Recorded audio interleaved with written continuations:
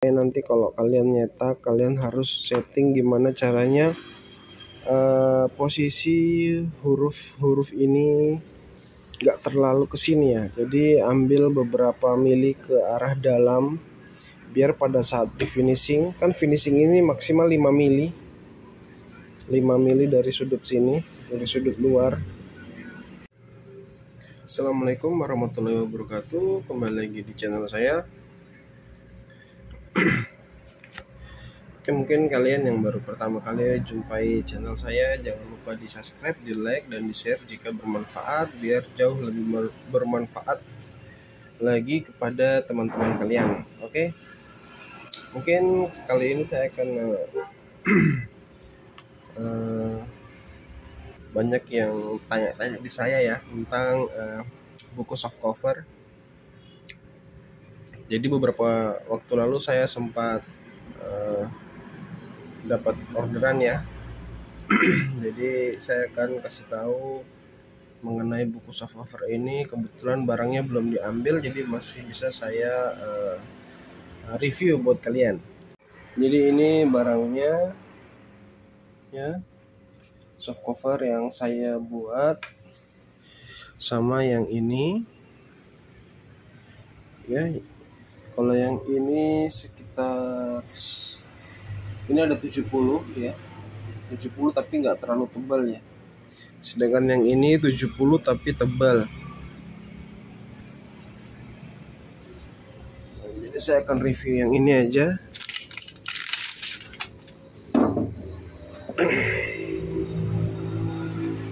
Terus kalau yang ini masih saya sudah saya wrapping ya.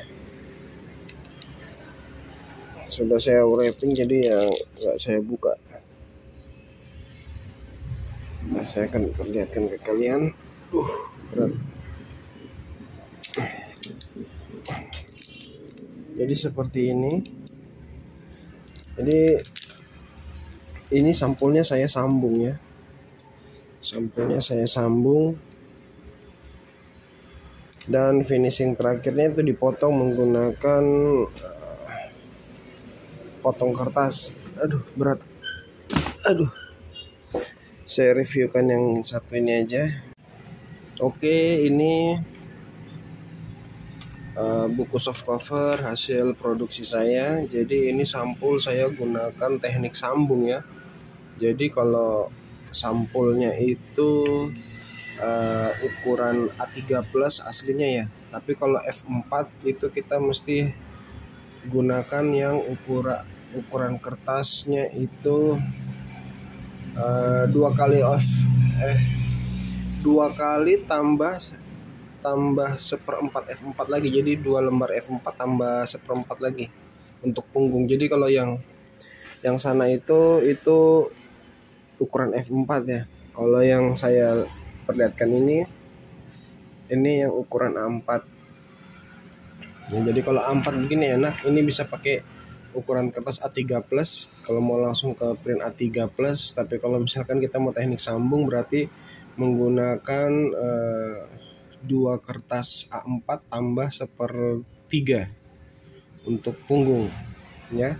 Tapi kalau putih polos begini yang kita perlukan itu A3 plus ya kita belah ke ukuran F4 dulu untuk sampul habis itu kita sambung bagian belakangnya jadi letak sambungannya tuh ada di sini.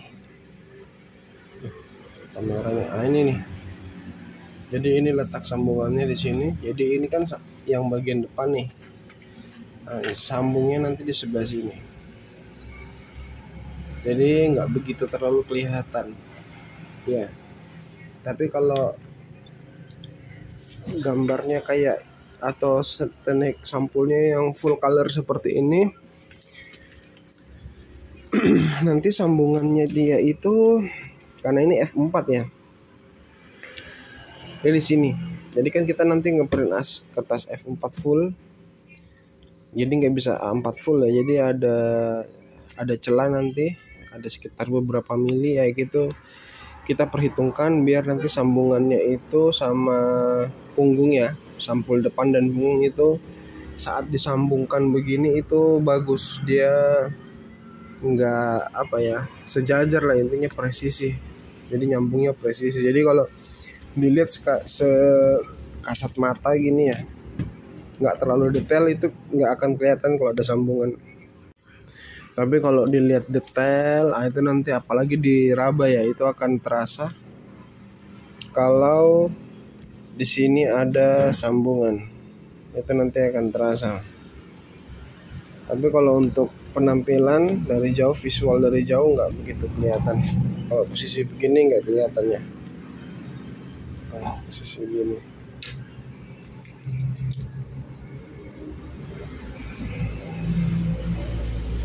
ini sambungannya di sini.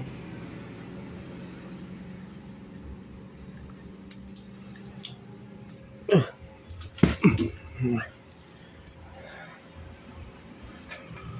terus ini dijilid menggunakan alat binding ini ya. Alat binding ini saya gunakan untuk jilid soft cover jadi itu menggunakan hot melt. Cuman ada kekurangannya ya itu. Kekurangannya itu biasanya di bagian sini ya itu nggak rapi. Jadi kita harus pakai lem tembak lagi supaya merapikan ya. Biasanya itu antara sampul sama halaman depan itu lembar pertama ya. Sampul sama lembar pertama itu biasanya kurang begitu cantik. Jadi kita mesti pakai lem tembak lagi.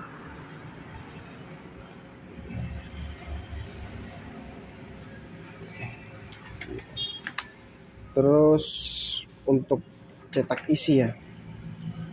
Nah kalau misalkan isi itu kalau misalkan kalian mau produksi sendiri ya pakai injet printer injet juga pun nggak masalah sebenarnya ya nggak masalah. Jadi karena berhubung saya sudah dari awal itu gunanya gunakan laser jet jadi saya pakai uh, is cetak isinya pakai mesin fotokopi hitam putih ya. Ya kalau warna saya gunakan printer laser jet warna tapi itu untuk lembar-lembar tertentu aja kayak sampul terus kayak halaman ini ya yang ada warnanya itu baru pakai printer warna. Tapi kalau nggak nggak ada saya langsung pakai printer atau nggak ada warnanya saya langsung pakai yang hitam putih aja karena yang hitam putih itu kosnya jauh lebih murah jauh di bawah ya dibandingkan kita gunakan yang warna. Ini hampir semuanya warna apa hitam putih yang warna cuman halaman-halaman pertama di masing-masing babnya jadi seperti itu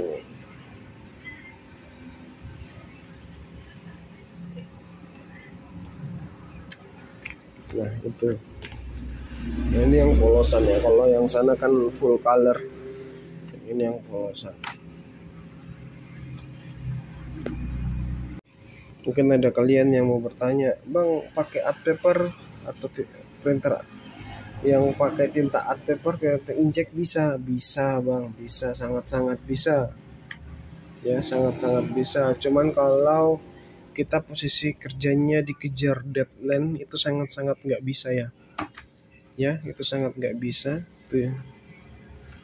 Jadi kita mesti pakai yang laser. Apalagi mencetak isi ya mencetak isi kita mesti cari printer yang cepat dan tajam.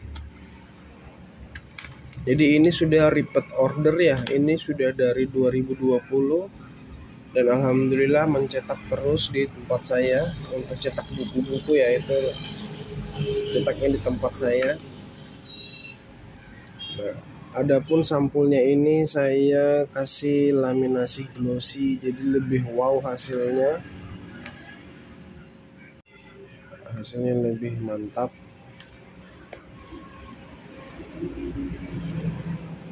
Nah jadi kalau kalian mau usaha uh, jasa buat buku. Jadi kalian mesti ada tambahan alat binding kayak gini sama pemotong seperti ini. Jika kalian sudah punya printer gunakan printer yang ada. Kalau belum bisa punya printer laser pakai inkjet juga bisa. Jadi apa yang ada dulu yang paling krusial ya tambahannya itu aja.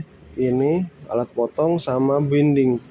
Adapun binding kelengkapannya cuman uh, lem hot melt jadi seperti ini.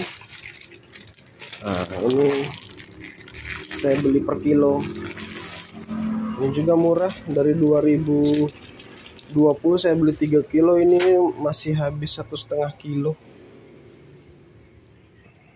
Jadi packing packingnya seperti ini. Nah, kalau kita beli ini packing satu kilo seperti ini banyak di online. Silahkan. Jadi nanti setelah dicetak dibinding dan nanti finishing. Jadi yang di finishing itu atas atas sini ya. Terus bawah terus samping sini. Makanya nanti kalau kalian nyetak kalian harus setting gimana caranya uh, posisi huruf-huruf ini gak terlalu ke sini ya. Jadi ambil beberapa mili ke arah dalam biar pada saat di finishing kan finishing ini maksimal 5 mili. 5 mili dari sudut sini dari sudut luar. Jadi untuk senternya dari huruf-huruf dan logo ini kita ambil sekitar 5 eh, sampai 1 cm ke arah dalam. Itu pengalaman saya. Jika kalian punya settingan sendiri monggo silahkan ya. Jadi ini semua disetting di Corel Draw. Misalkan kalian bisa gunakan aplikasi lain mungkin Photoshop atau Adobe Illustrator monggo silahkan bisa. Ya yang penting kalian menguasai. Intinya itu ya intinya itu kalian bisa menguasai alat tersebut jadi aman bisa. Jadi intinya di atas atau di dalam program itu kita bisa aplikasikan dalam bentuk uh, fisik jadi perhitungannya itu kita bisa sesuaikan dalam program sama kondisi fisiknya. Seperti itu. Oke. Mungkin itu ya video yang dapat saya bagikan. Jika kalian mempunyai pertanyaan masalah uh, percetakan atau fotokopi yang masih pemula kayak saya ya kayak saya. Jadi saya nggak beranggapan bahwa saya ini lebih pintar dari kalian. Tidak saya pun masih tahap belajar. Jadi uh, masih terus berusaha mengembangkan diri apa yang belum saya bisa saya pelajari dan terus belajar.